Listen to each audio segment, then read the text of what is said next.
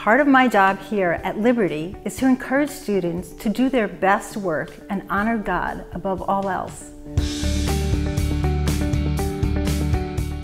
At Liberty, students in first through fourth grade study ancient, medieval, Renaissance, and modern history. This sequence is repeated fifth through eighth grade and then again ninth through 12th. So by the time they graduate, our students would have gone through these historical periods three times and at three different stages in development. In addition to this, the art program is lined up with whatever they are studying in their other academic subjects, further reinforcing the concepts people, and ideas of that time period. I follow this time period pattern when I teach art to our students. Ancient art through modern art, that is the backbone, but layered on that is drawing techniques, painting, sculpting, and art composition. Young students begin by drawing simple shapes and learning to shade and color those shapes into forms. Even in kindergarten, students are encouraged to use a variety of greens for grass and trees to create lights and darks of a single color.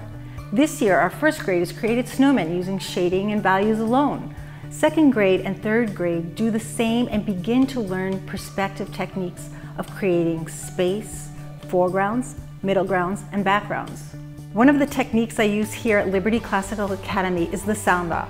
The sound off is a classical method technique and is a unique way to help students learn and memorize information.